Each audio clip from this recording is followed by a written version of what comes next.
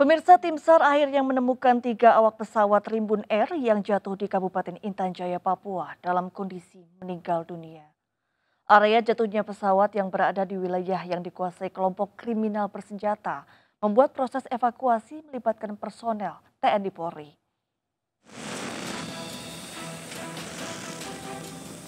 Tim SAR yang melakukan pencarian dari udara menemukan pesawat Rimbun Air di wilayah pegunungan Kabupaten Intan Jaya. Setelah posisi pesawat ditemukan, langsung dibentuk tim SAR yang melibatkan unsur TNI dan juga Polri bersenjata lengkap karena wilayah jatuhnya pesawat dikuasai KKB.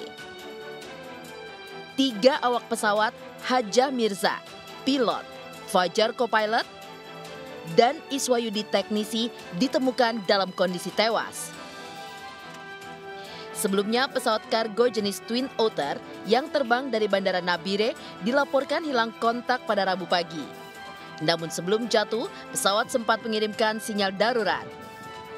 Dari Papua, Nathan Making, iNews melaporkan.